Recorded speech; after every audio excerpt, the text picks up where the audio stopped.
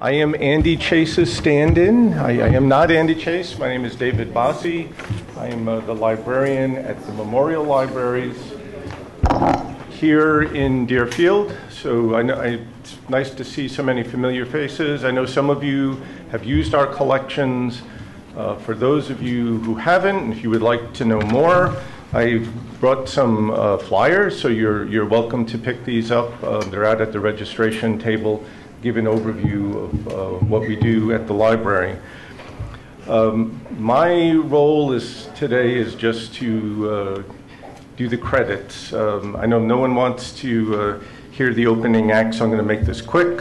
Um, so we, we owe uh, Andy Chase and Eaglebrook our thanks for, for hosting us today, for providing refreshments, and also for the lunch. So let's let's put our hands together, even though he's not here.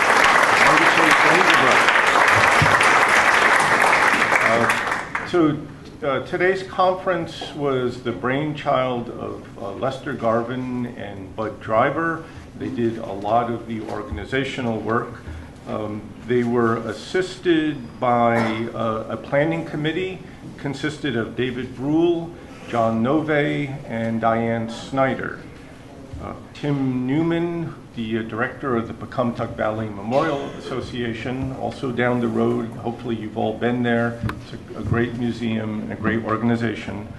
Uh, Tim was involved in planning, and PVMA provided uh, logistical support for the planning of this conference.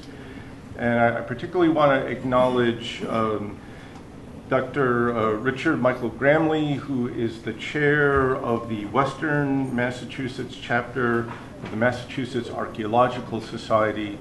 They really sponsoring the, the conference, and um, Mike Gramly, who will be speaking later, was uh, very much involved in uh, getting the slate of speakers together. So thank you to him. And I think we'd all just want to get started. So if Bud Driver is here, I'm not Bud, but I was just gonna, This is not Bud Driver, I've been told. Um, Someone is going to introduce our first speaker, Richard Little. He- Here he comes. Late as always. Thank you, Bud.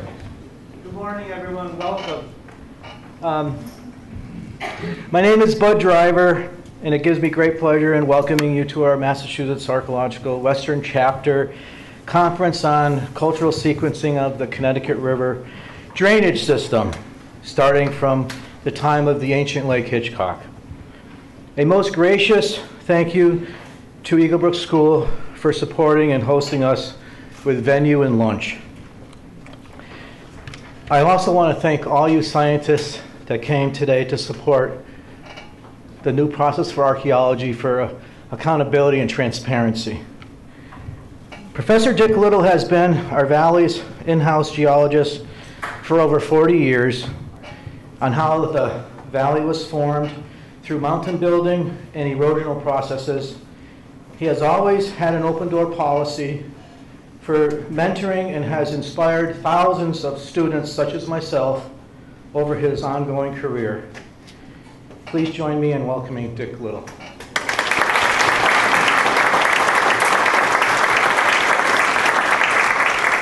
Okay, thank, thank you very much, Bud. I need to stay away from the speaker because this is going to squeak terribly, I think. But in any event, uh, I have one of the world's hardest jobs here, and that is to summarize um, Western Massachusetts geology into 30 minutes. So I did bring my clock uh, but I set the alarm at one hour. So. and so uh, let's just get started. And also, I must say that uh, due to a family medical situation that's not life threatening, but still, uh, my poor wife got up and could barely move this morning due to a back injury. When she was a kid, she had horses. And let me tell you, folks, don't have horses and kids together.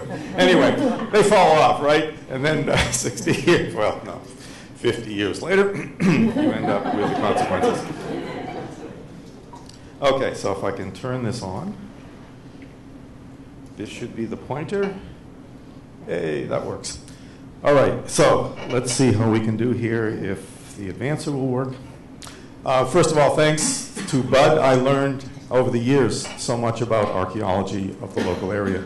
He's been so uh, so kind to take me places and show me things, and we've had lots of discussions. And um, what a guy! He's quite the resource to have in your backyard. So uh, anyway, if no one's ever given Bud a hand, I'm sure you have.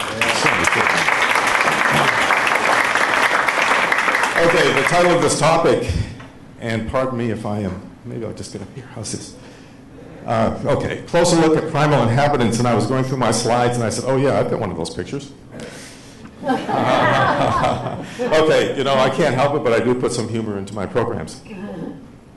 So, we're looking at the geology of the Connecticut River Valley here today, and this is the best place in the world to study geology. So, let's look at what we have here. This is the Holyoke Range, of course, and um, can I see how many people are not from the Connecticut Valley? So we have a bunch of people that uh, maybe have never seen the Holyoke Range. That's probably not true. But we're air view of the Holyoke Range here, looking south. So we have dinosaur footprints in sediment.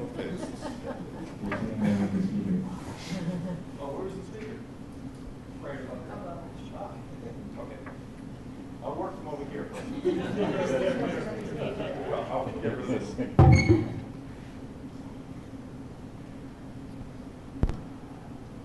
Okay, it's now off. Okay. So, ladies and gentlemen, here we go. Let's get that dinosaur moving. There we go. Okay, so anyway, we have uh, dinosaur footprints, lava flow, everything you see here. Um, I only have a thousand slides, so I have to move pretty quickly. This is the statement. You can read it. All right. So, valley archaeology is not too bad either. So, let's take a look at uh, our geological story.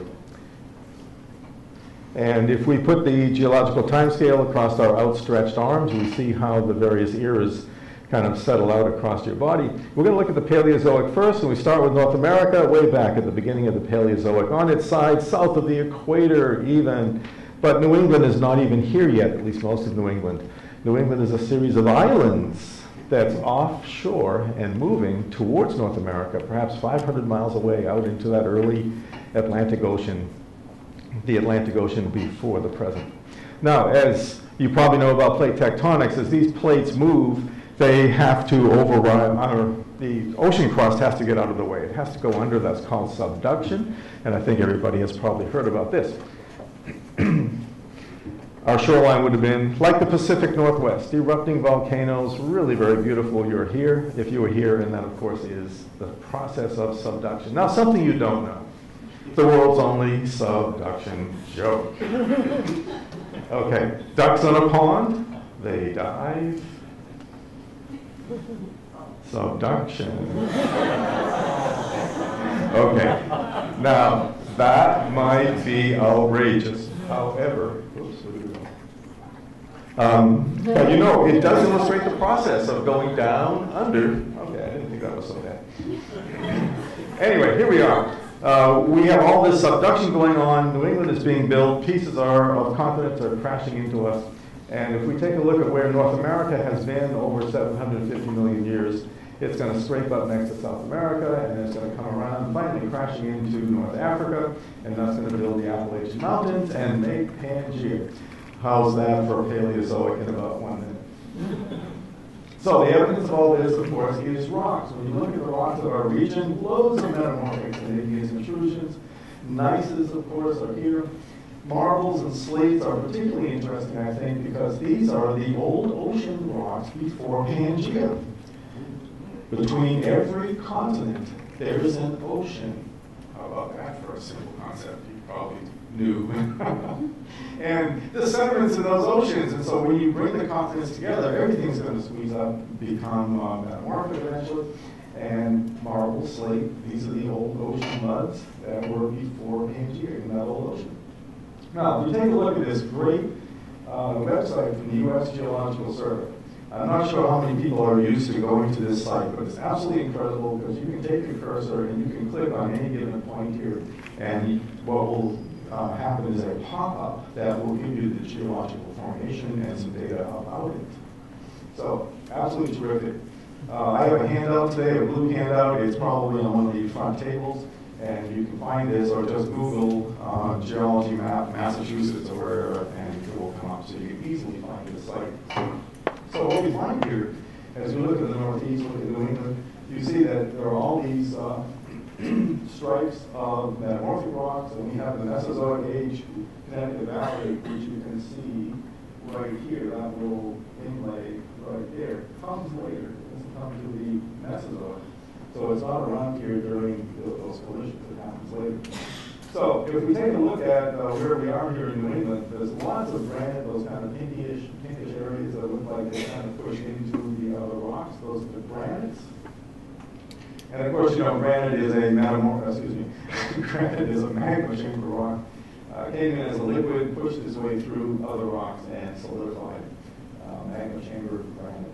And we also have lots of long bedrock layers that are pretty much oriented north-south, these long bedrock layers that are metamorphic. Now, why do we have so many of these Paleozoic age rocks like you see? Well, we had Pangea, we had a collision of continents. And when you get a collision, as we see here from this map in Vermont, geological map of Vermont, look at the cross sections of Vermont here. You can see how those layers are going upward and they are pushed over, just like having a collision from the right to the left, just taking everything, squeezing it, pushing it one layer over the other, like that. Um, and then we have this doming effect that happens also as harder materials rise from below, either as metamorphic or maybe as intrusions or dome on the surroundings. So it's like uh, being caught in a giant vice that creates the New England um, rocky underpinnings. Or perhaps being in a car crash. So notice that compression is the process, folding is the result, and note the orientation of the folds as perpendicular to the compression.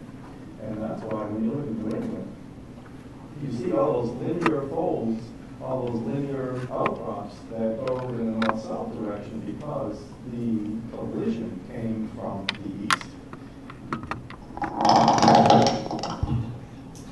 Is it too soft? Wasn't projecting. I need to project.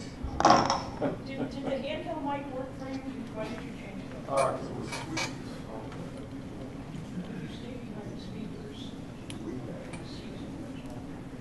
Testing one, two, three, four. Is that better? Okay, anyway, um, thank you, Diane. So here we have our bedrock outcrops. That's the Mesozoic age of the valley right in here. And this has been called an inlay into the rocks of New England because it came later. It's like, so let's take a closer look at that. So as we uh, finish up the Paleozoic, we've got Pangaea, we've got the Appalachian Mountains, we've got the great old supercontinent there, and we're now going to go to the Mesozoic. So as we go to the Mesozoic, what's going to happen is we're going to break Pangaea. So in the Mesozoic, we break Pangaea. In the Paleozoic, we make Pangaea. And just in case you're having trouble with those concepts and the timing, remember this. If it's uh, Paleozoic starts with a P, we get Pangea starts with a P. So Pangea, Paleozoic. And then we get to the Mesozoic. We're going to break Pangea. And as I tell my students, so they'll get this right on the test, when you break anything, you make a mess. Mesozoic. See, that's a bad one. That one is definitely bad. So, in any event, however, it might help you remember the timing of our geological events. So, let's move on. Here's the big story about breaking Pangea. We're going to get rift valleys, and we are in a right on the edge, or actually kind of right in the middle of this rift valley that has a, a fault. Oops, wrong button. Has a fault called the Eastern Border Fault. It's over on the eastern side of the valley. How's that for a good guess? Right on the eastern side of our valley. It goes all the way from Keene, New Hampshire to uh, Hartford, excuse me, New Haven, New Haven out into the ocean. So we have this long fault, we have this rift valley, and that's what happens when you pull apart continents. Now here's one out near Yellowstone Park in Montana. And when you have a rift valley, you find there are mountains on the upside of the fault. The fault creates the valley. It's usually a very long, linear uh, geological situation here. Faults tend to be long and linear. And the valley drops down, the mountains erode, you get alluvial fans like you see here, shorelines and lake beds in the valley floor. And so Death Valley is another great place to see this. It's mountains, the fall alluvial fans, shorelines, and lake beds. And you know, all of these deposits that are happening in this Rift Valley, this is the red rock that we see up and down the Connecticut Valley today. So, for instance, if you're up on the old alluvial fans, you'll get gravels, now conglomerate. Shorelines, you'll get the sands. If you're on the lake bed, you'll get silty clay, shales. Uh, you can see mud cracks and even raindrop impressions there on that sample. Dinosaurs love to walk along the old lake shores, also leaving their footprints in the mud.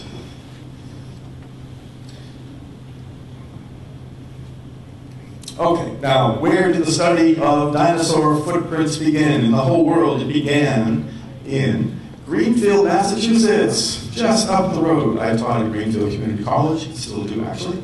So um, this is one of our big claims to fame. We were the place where dinosaur footprints were first discovered and studied, that is, first studied. Okay, the man that, um, that found these was a stonemason, Dexter Marsh. And Dexter did a great job of collecting. He basically was um, obsessed with finding these dinosaur footprints, and he worked very hard at it. He actually made a museum of dinosaur footprints in his house, which the town of Greenfield, in its great wisdom way back when he died, or near when he died, decided not to purchase. And so this great collection has been dispersed, and Greenfield sunk back into all of these.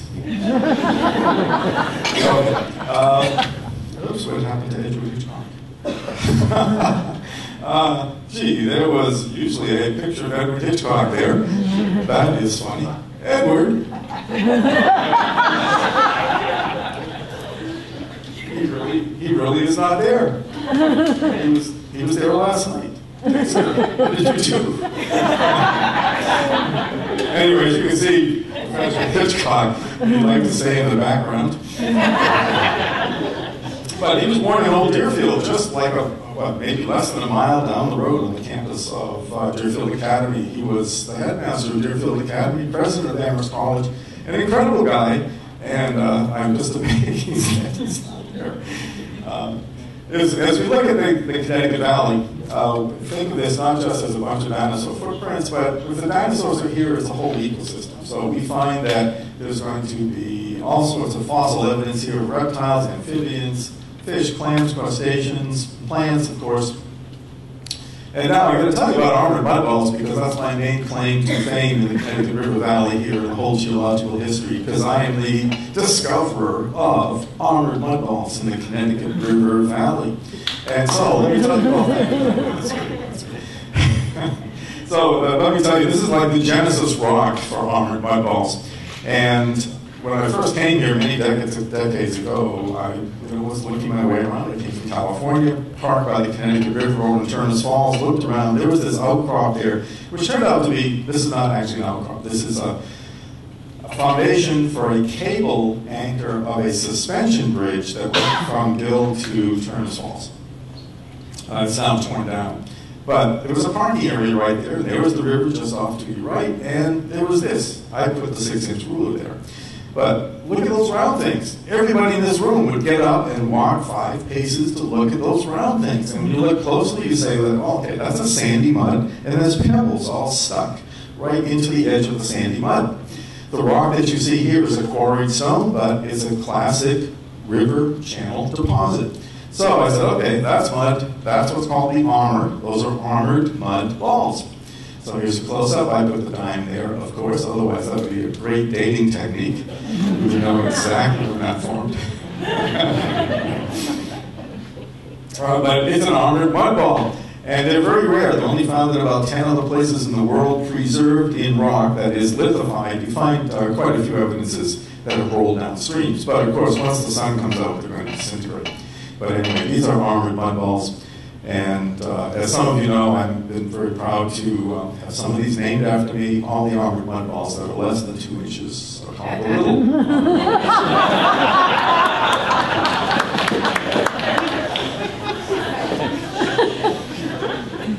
okay, so we're splitting Pangaea. That's what we're doing here in the Mesozoic. We're splitting Pangaea. We've got the Rift Valley.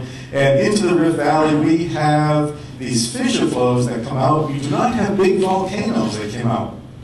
This is a very interesting thing because the flows came out, but they, and they are volcanic, right? Because lava is volcanic, but we don't have a volcano. Probably some cinder cones and things and spatter cones, certainly but no big volcano. Because if we had big volcanoes, look at the rocky outcrops of a volcano. They're circular outcrops because the volcano is a cone form. Or they might be the old neck of the volcano that would give us pillars like uh, Devil's Tower. So, we don't have that, but we do have extensive flood basalts. And may I say that one of the world's experts in flood basalt is here. That's, uh, uh, oh my God, Tony. I have just blanked on your last name. Oh my God. Ah, tell me. Philpotts. Oh, of course. Tony Philpotts. There he is. I'm so sorry. I obviously know that from years and years, but anyway, it's been too many years, too many names. All right, so anyway, the River Valley, there's our Mesozoic Age Valley, and it's once again the in, inlay right in the uh, fabric of New England. So, where are we? There's Eaglebrook School, there's the star. Uh, here's the lava ridge, because the lava flow came out, but it's been tilted, as I'll show you in just a second. So we're on, we're looking at the edge of this lava flow that's up behind us. And if you get a chance to explore and go up the road, you can see those outcrops that illustrate this situation. But I will tell you that the main edge of this ridge called the Pocumtuck Range is actually a hard sedimentary layer, which you can see in Mount Sugarloaf. The lava is just in behind that. It turns out the lava is a little, in this area, is a little bit weaker to erosion than the sedimentary rock directly under it. So basically, our valley is like a sandwich. When you have the Rift Valley, there's sediments that, that come in first. Then we have this lava flow that kind of forms the middle of the valley, and then there's more sediments that come on top. But the sandwich is tilted because of the movements on the eastern border fault. And now, if you erode the sandwich, you're going to find that the soft areas are going to be eaten away, shall we say, and the hard areas will stick up. And so, this next line will show you the landscape. So we take the basic packet of sediments with the lava in the middle and we erode them. Uh, the lava flow is just about exactly 200 million years old, which gives you some idea about how old these rocks are. And we are here right at this boundary between the sediments and then the hard lava just behind us. Okay, we're going to hop up to the ice ages next. So we get to the ice ages. The last ice age was at its maximum only 20,000 years ago. So that's amazing, isn't it? 20,000 on the geological scale. We're talk, not talking millions of years anymore, or hundreds of millions. Now, we have this glacial lake here called Lake Hitchcock. It starts in central Connecticut, somewhere around 18,000 years ago. And then as the ice melts, it gets longer and longer, all the way up to Westburg, Vermont, and over near uh, uh, Littleton, New Hampshire. It goes all the way up that far. So it's a very, very long lake. And it's named after Edward Hitchcock. There he is. He didn't escape this slide. so it's named after Edward Hitchcock. And this is some uh, a representation of what it certainly could have looked like. So here's what we see, that the Berkshires are the hard rock mountains up there in the distance, Eaglebrook, about 50 feet above the lake level, and the main areas of Deerfield are on the old lake bottom. So one of the things that happens to glacial lakes would be the building of deltas. It's a big story here. So deltas, every time rivers come into lakes or, or the ocean, but in this case we're talking Lake Hitchcock, we have deltas. Here's a representation of a delta. The delta has these parts, and pardon me if you all just know this, but there's the lakeshore. The top of a delta is called the top topset part, but underwater there's these very interesting foreset beds that are de deposited at the angle of rest of sand and gravel, fine gravel in water. So they're up at an angle of around 30 degrees many times. If you want to do a gravel pit, this is what you see. You actually see, if you have a, recently exposed uh, gravel surface here, you will see these layers that are flat, and directly under, you see these layers that are at an angle. Now, if you don't know your geology of deltas, you would be extremely perplexed by this because you think that, oh my God, we have recent earthquakes that have taken these formerly flat layers and tilted them. And then we have an erosion episode. It looks like an angular unconformity if you've had Geo 101. But in any event, this is the normal deposition in a delta. How many people have been into delta gravel pits and seen this? Oh my God, look at that. So, this is really pretty exciting. Now, loads of people have been in gravel pits, and I usually say, how many people have been in gravel pits in the daytime? so, this is the depositional pattern that you see as the river is coming in. It's going to build these underwater, and then the topset layers build up higher and higher as the foresets build outward. So we keep building and building and building. Stream flow, as you see, there's the arrow. And the contact between topsets and foresets uh, is the contact, that's the shoreline. So the topset foreset contact is greatly appreciated by geologists because people will go out and measure that exact elevation. That will tell us the shoreline elevation of Lake Hitchcock. Okay, now, what happens on the bottom of the lake is there's loads of muddy water coming out of glacial environments because they are so good at grinding up rock. They give us the mud that's going to go into the lake bottom. And these are known as varves, by the way, because in the wintertime, when the lake is frozen, you'll get a much finer layer settling out. But in the melting season, it's more silty. And each pair of layers is going to represent a year. And I think most everyone here knows this because it's an amazing thing that happens in lakes. And we can actually count um, 4,000 different yearly layers here in Lake Hitchcock. And so, the big question, were there Paleo-Indians and Lake Hitchcock, swimming in Lake Hitchcock perhaps? Well, the ice front was in the Pioneer Valley about 16,000 years ago. And the lake drained about 14,000 years ago, so that will give you a time frame to think about. And of course, it's always a little bit confusing because these are calendar year dates estimates and not radiocarbon date estimates. And I'm sure if you've been involved with archaeology, you certainly know that there's a difference between calendar years and the radiocarbon interval. Have you heard the giant beaver story? Uh, you've, all, you've all heard that one?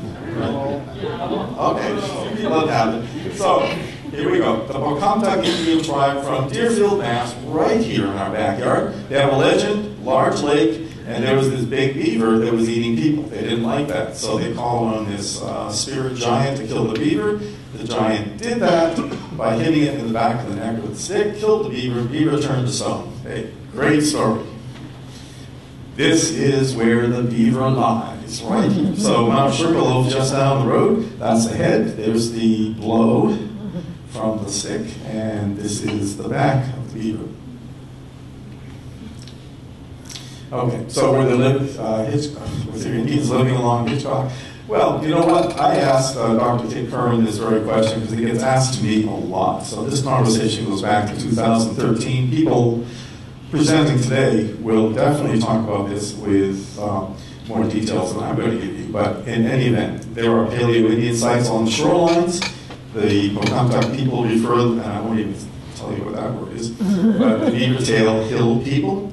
And so, does the giant beaver myth indicate that people knew about Lake Hitchcock? And Dr. Curran says yes. So, how about that? Um, let's take, take a look about waterfalls for a second here, because Indians and waterfalls really go together because that's where your fish food would basically uh, definitely come from because it's a great place for fishing. So if we take a look at the origin of the Connecticut River waterfalls, we find that with Lake Hitchcock here, there are all these deposits. And when the lake drained, the river could come back to its valley. But the river didn't know where its old, uh, its old pre-glacial valley was because it was all covered in. So as it came back to those surface deposits, it then has to cut down. And when it cuts down, sometimes it finds itself on top of bedrock ridges, which means it's going to fall over the edge of the ridge and it's going to create a waterfall.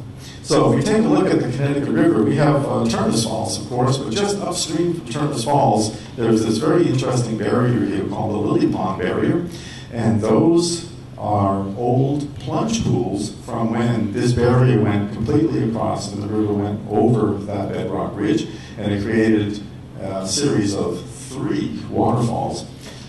Waterfalls always eat back, they're very erosive, they eat back upstream, and obviously right here, it ate back enough in this area to breach the Lily Pond barrier. And today, the Connecticut River goes through these narrows on its way past Turners Falls. Okay, so these abandoned waterfalls were here after Lake Hitchcock. And so if people were here during Lake Hitchcock time, they were certainly here directly after Lake Hitchcock drained. And these would have been the sites of great fishing locations. Um, I'm sure this is going to be discussed later today by Peter Thomas. Uh, here's uh, just another view, Google Earth view. There's the three waterfalls. The Turners Falls Dam is right there. So, where was the Lake Hitchcock shoreline?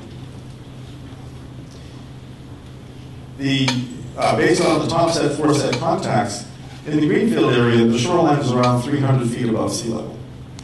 If we take a look at the Deerfield Valley, the Deerfield River comes out of the hills there to the left from the west. There was a delta, delta that was built into Lake Hitchcock. And lake bottom deposits are also all over the place here. Oops, there should have been a slide in there. Well, uh, that, that is strange. Sometimes when you switch computers, since my program is on a different computer than I did it, sometimes strange things happen. Edward Hitchcock. uh, anyway, this would show Route 91 going across the Connecticut River. Uh, if you came down Route 91, you might have seen a big gravel pit right here, which is actually very sandy. These are lake floor sands. Anyway, um, let's just go on. So here we are, looking closer at where we are located. Eagle, Eaglebrook is going to be uh, right here, and the lake shore is at 300 feet. So here's our 300 foot contour line running along. And you notice that, that there's no really big deposit here along our shoreline because we're just on a peninsula in the lake or an island in the lake. You see, so there's no source for a tremendous amount of sand to make a big beachy area here along the lake, along the lake shore. So there's not much here showing Lake Hitchcock shoreline. However, I think as you go down the road, you find a cemetery that's a nice little flat spot there. It's very sandy. And uh, I must say, I've never dug in the cemetery. People have done that. But um, that's probably the shoreline. So right now, we're somewhere above 350 feet. See, we're above the old shoreline. So this is really a good view across the lake shore right? Just a nice view off to the west. Now, look at these flat areas. That's definitely something that needs some discussion. So that flat area is under 300 feet. That's a shoreline at 300 feet. And what we have next is the lake floor. And of course, the lake floor elevation will vary a bit depending on how much mud is washed into the lake and how much gets deposited. But the lake floor is very, very flat. Look at that. It also gets eroded in a, a high density of stream patterns. So you can see there's loads of little streams cutting through, gullying into those muds. And you see it on the other side of the valley too. Look at the flat pad that's way over there as well. So this is an area that was all lake bottom clay all the way across the valley, which is really neat to think about because today there's the Deerfield River, an agent of erosion that removed that. How long did it take? 14,000 years. So in 14,000 years, we've removed 100 feet of clay across the, across the Deerfield River Valley in this section.